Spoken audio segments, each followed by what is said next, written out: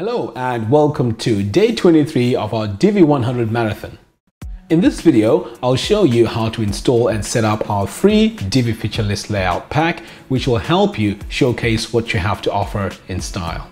These design layouts cut straight to the point by showcasing the features and benefits associated with your product or service. So the first thing you want to do is to download the layout pack. I've included the link in the show notes below.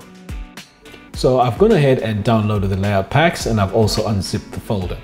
So next what you need to do is to go to your dashboard and then go to Divi, Divi library. Okay, so in Divi library, what you need to do now is to import and export. And then what you need to do here is to import them. So choose the file. Now mine is on my desktop, but the one you need to choose here is the single sections.json. Okay, so click on it and then click open. So that opens the file. So I've gone ahead and done this ahead of time. So you just need to go and click that and then import the Divi Builder layout.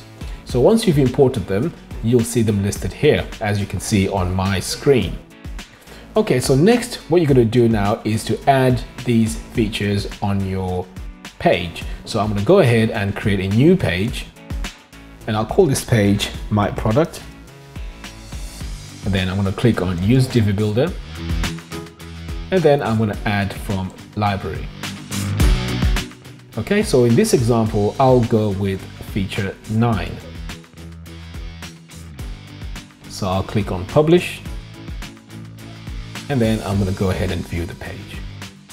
So straight away you can see that the design has, has been applied to this page. Now I'm not too happy with this gap that we have right here, so I'm going to go back into the page and see uh, where I can change that. Okay, so I'm going to click on edit. So as we can see here, we have this section which has nothing in it, so I'll just delete that and then update. So now if we view the page, it should be well lined up. Okay, brilliant. So this is how easy it is to add these design layouts. Okay, so I'm gonna do one more example so you can see how easy it is to add these.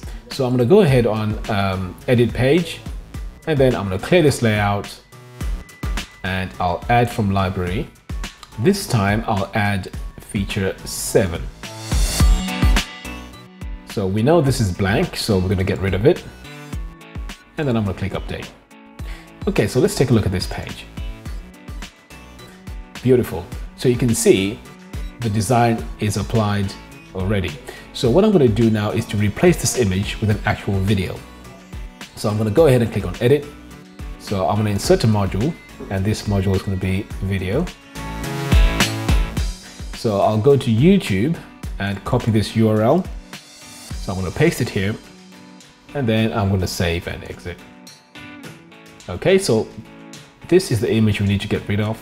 So I'll just drag this video and bring it to the top because that's where it needs to be and then click on update. So let's do a quick preview and see how this page looks like. Okay, so you can see our video is applied. It's looking good, but we've got a little problem here. Um, it's not aligned with the word features. So what I need to do is to go ahead and fix that. So this time I'm going to add a module, but this is going to be a divider.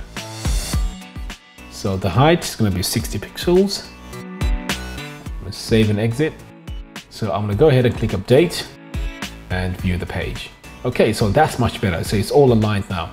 Uh, now this image looks really out of place, so I'm going to get rid of it.